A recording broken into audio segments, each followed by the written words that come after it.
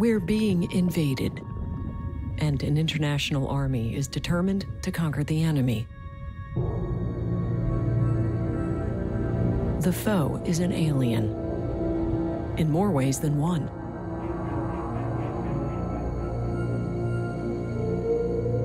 Tiny, but deadly, capable of overcoming the most challenging conditions.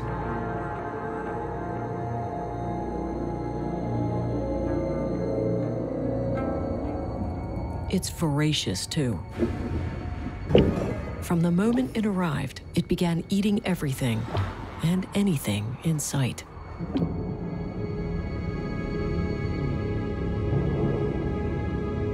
Meet Pterois volitans, the red lionfish.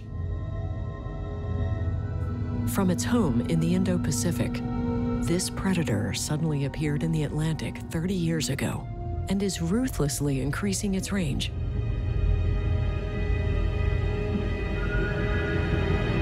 Now, wherever lionfish are spotted in the southern Atlantic Ocean, there's little else to see. It's feasting its way from the Gulf of Mexico up the eastern seaboard.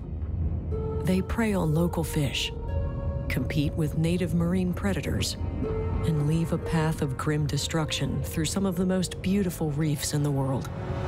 A single lionfish residing on a coral reef can reduce native plant-eating fish by 79%, allowing algae to grow unchecked on coral reefs. Lionfish uh, can consume as high as 6% of their body weight per day uh, over time at some of the higher temperatures. And when calculating that feeding rate, uh, we've learned that it can have quite an impact on the fish community. Some scientists say it's the worst invader on our planet. The spiny fish seems unstoppable. But researchers are combining their expertise and brain power. They have a plan.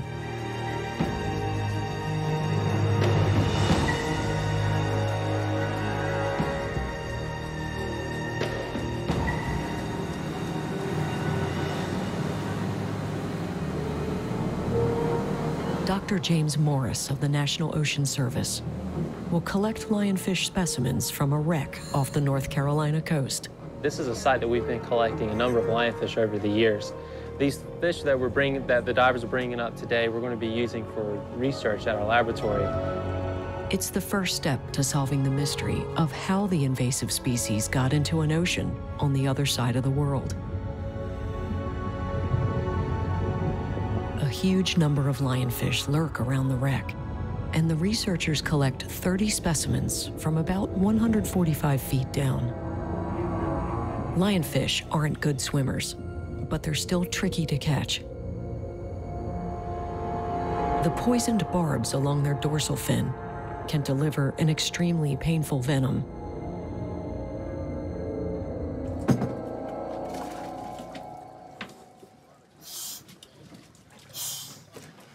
when the captives are brought to the surface. Their bellies have swollen due to the rapid ascent. Big female here. A quick pierce releases air trapped in their swim bladders, and the fish settle into their temporary prison. You got that down, don't you? Yeah, man.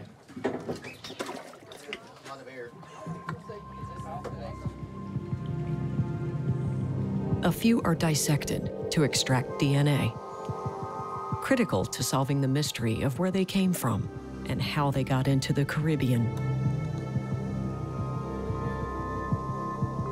Geneticist Thomas Schultz at Duke University can determine how many individuals were involved in the species explosion We can actually look at the amount of genetic diversity that's present in these invading populations and try to track back to see what's the minimum number of fish that were introduced into the United States initially. The results are terrifying. Fewer than 10 individual lionfish were apparently released by hobbyists into the nearby ocean. This may still happen. Only Florida has banned the importation of red lionfish. It is a very popular aquarium species that is imported into the U.S. from um, Indonesia, from the Philippines. Uh, we know that many thousands of lionfish have been imported into the United States in the last de decade. aquarium owners sometimes released unwanted captives into local waters.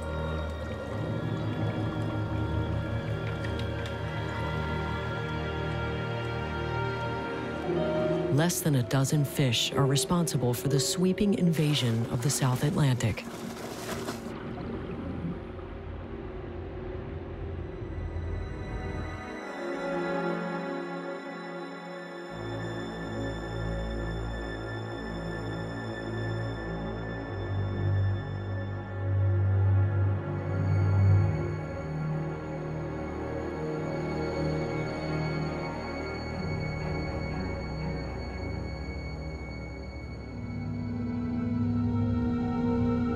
In the wild, they might live 15 years.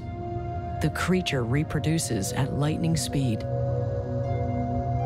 Lionfish have a very robust and um, vigorous reproductive biology. They are capable of reproducing every three to four days. They the females can release over 2 million eggs per year, uh, and they can become sexually mature within a year. Armed with this knowledge, a team from Canada begins to establish a combat protocol in the Bahamas. On the island of Eleuthera, Nicola Smith conducts a survey that reveals the scale of the problem.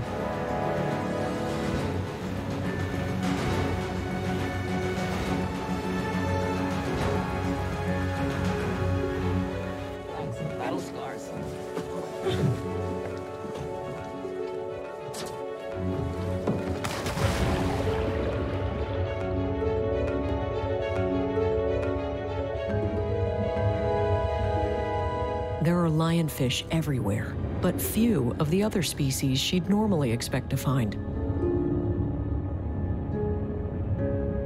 I'm very worried about the future of marine ecosystems in the Bahamas because of the lionfish invasion. If they could eradicate every lionfish within a specific zone, would it impact the growing invasion? Her team collects every lionfish they see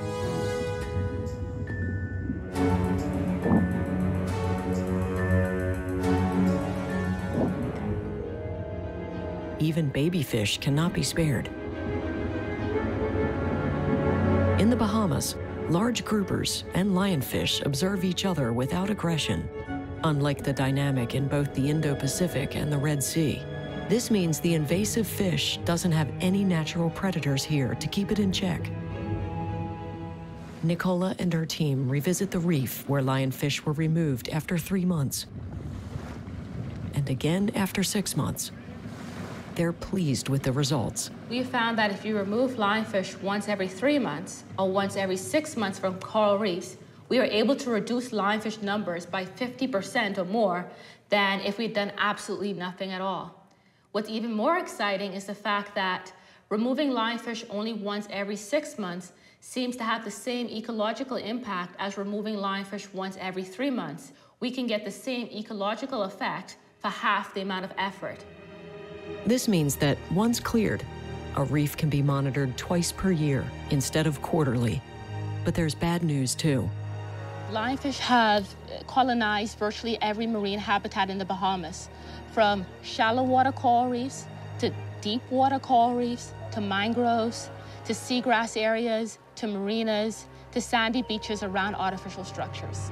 It's impossible for humans to scour every potential lionfish territory and there's no help from native marine life either. There are really no natural predators that have been documented to actually be preying upon lionfish at a rate that can control their local densities.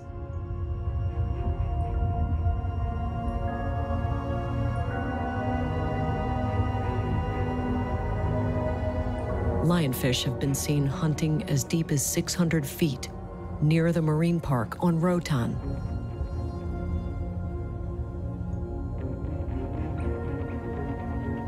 Lionfish down there. Oh, they're not gonna go away. There's only one ocean hunter here that's capable of ruthlessly plundering every depth where the tough lionfish are found. The shark.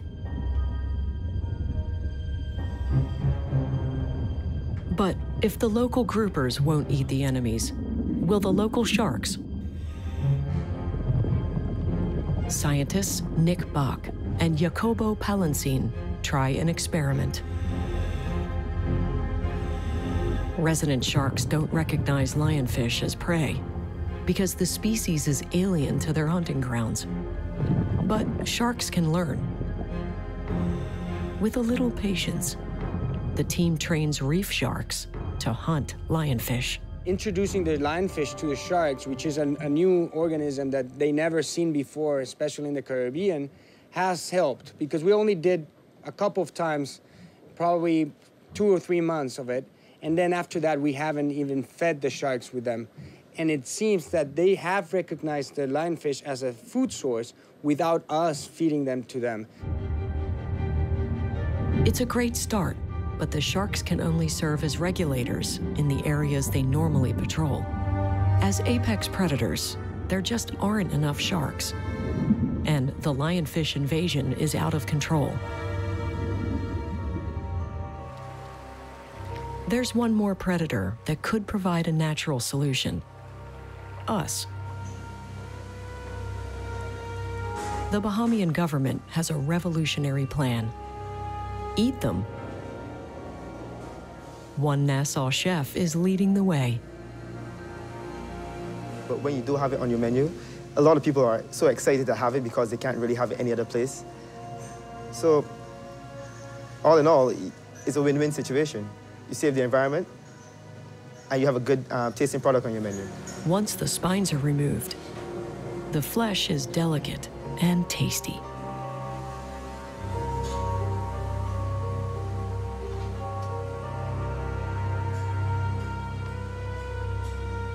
Everybody thought that the meat was poison because they understood that the lionfish had a poisonous venom. But people are now growing out of that fear and beginning to eat the, eat the meat. The lionfish problem is such a huge problem that one study actually shows that it has reduced prey species down to about 65%. So what are we gonna do about it? We're gonna eat them to beat them.